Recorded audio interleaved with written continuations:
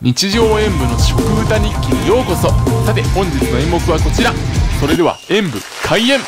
ザードーナツも今年もやってきました。クリスマスポケモンドーナツたちとちょっと多分秋の限定品で作られた残りのドーナツ2種。確かこちらみたらしホイップとポンでさつまいもでそしてこちらがうーんと卵チャーハンとコーンスープ。これも気になってたんですけど一回食べてみようと思って購入しました。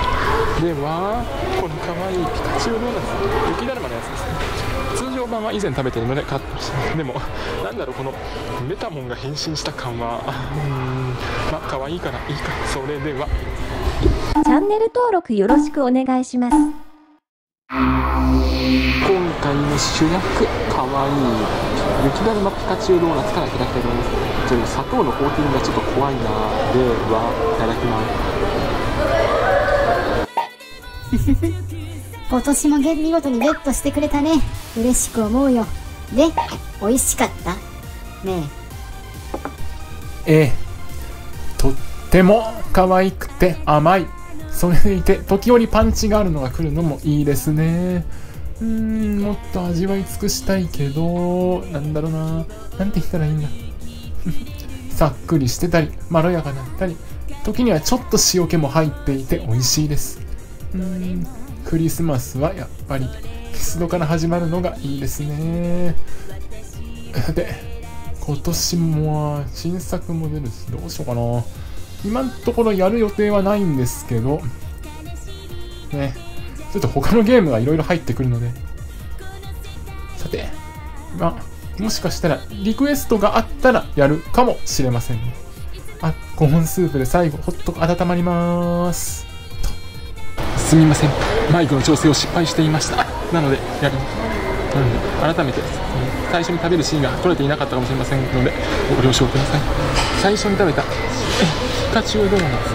雪だるまピカチュウドーナツは し、まあ、可愛さで言うとトップクラスなんですけど味の方は、まあ、さっぱりとしたミルクホイップさホイップクリームであさっくりとしたドーナツ生地で美味しかったんですけどうん。なんだろうな、まあ、ピカチュウドーナツに比べるとインパクトはなかったですね。やはりバナナチョコというのが強烈に残っていました。で次のこちら。ふわふわプリンドーナツ。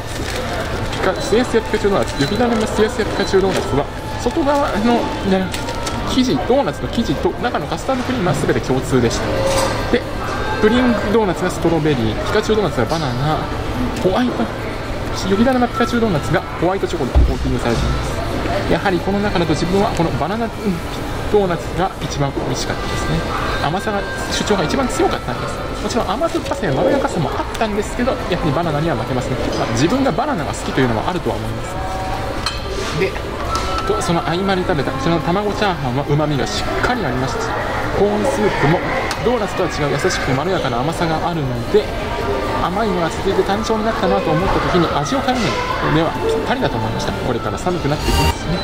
でこちらのピカチュウ。味で言えば今回はこちらのすやすやピカチュウドーナツ。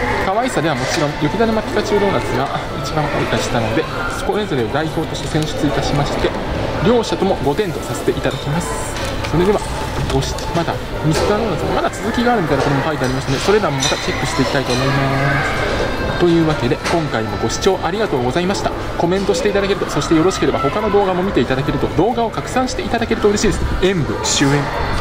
本日の演目はお楽しみいただけましたか？チャンネル登録コメント高評価していただけますと嬉しいです。ではまた明日の演目でお会いしましょう。それではさようなら。